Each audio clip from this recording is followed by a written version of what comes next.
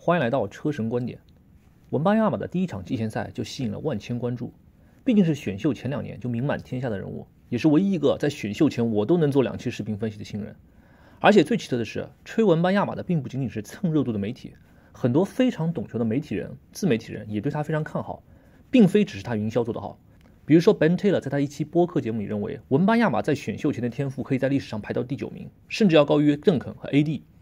Ben Taylor 作为一个对远古篮球研究堪称全球最高一档的自媒体人，他有这种评价，我认为也可以说明一些问题。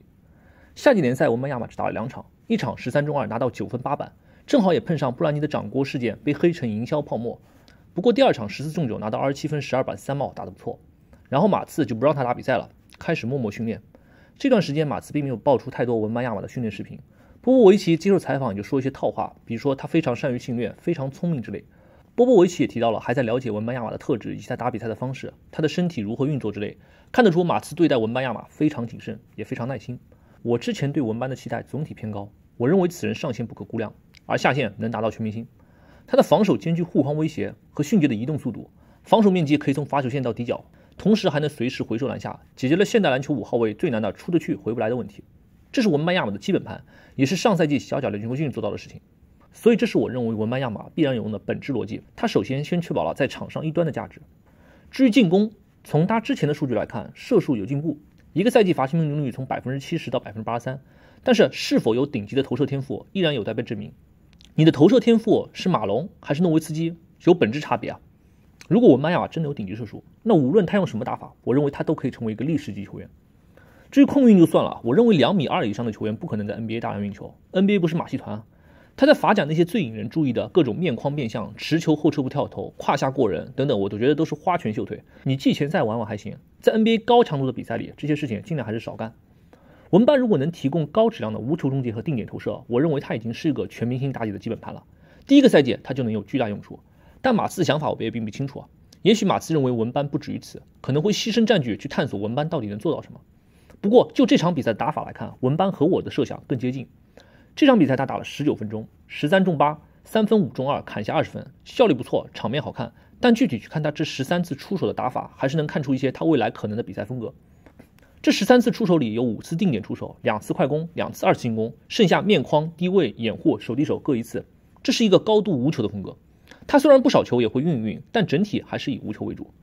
他优秀的控运可以在定点突破的时候帮他完成更好的进攻，比如这个球，他面对切特的防守，直接一个胯下过了对手，然后冲击篮筐打进。在面对和他一样高大的防守人，他能做到一些较高难度的持球突破，这个人球结合能力在他的体型下确实厉害。他面对切特这次篮下拉杆也有不少前置动作，确实是天赋的体现。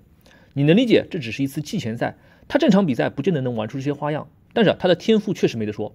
你让很多两米的球员也很难做出这种流畅的突破加拉杆的动作。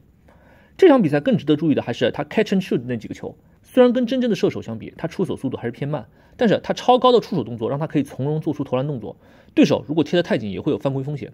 我认为这是他应该更多使用的进攻方式。期待文班亚马像早年 KD 一样各种绕掩护、出手跳投，从这几个回合来看，似乎也完全有可能。我能理解不少人不看好文班的原因是和他们以前理解的篮球哲学相悖。两米二的人似乎就应该统治内线，但我认为思路还是得打开。文班现在的打法真的就像一个侧翼。他这场比赛完全不做掩护人，大量的定点出手，出手五记三分，从四十五度角定点突破，你说是小前锋也不为过。在进攻端，他跟中锋完全没关系，而我觉得这么打可能是对的。更多的外围出手也能帮他减少受伤的风险。而文班射术到底能投到什么程度，直接决定了他这种打法到底能打出什么样的上限。至于防守端，不必多说，这些回合文班亚马本来就能轻松做到。他在防挡拆的时候被对手过了并没有关系，他只要回头手一伸就能盖掉投篮。拥有这种臂展，还有速度和灵活，全世界还真就他一个人。他这场比赛也有一些借助长臂完成的抢断，防守是我对他担心最小的部分。他现在确实太瘦了，面框顶不了字母哥，低位防不了约基奇，但这些我认为此时此刻根本不需要去担心啊。他防守端只要能最大化干扰普通的攻防球员，覆盖尽量大的防守面积，用长臂大量刷卡，其实就已经会转化成正面的比赛贡献。总的来说，我对文班亚马还是偏看好。他可以在进攻端打空间四，而防守就站上五号位。只要他射术够好，进攻端摇摆到三号位都不在话下。这并不是一场比赛的看法，我观察这个人也有两年了。第一年我认为名过其实，花拳绣腿；而在法甲的第二年，我已经不这么觉得了。当然，目前他还是一个更多给你想象力的版本，相比于邓肯、伯德、Magic 这样真正历史级天赋，他还差得很远。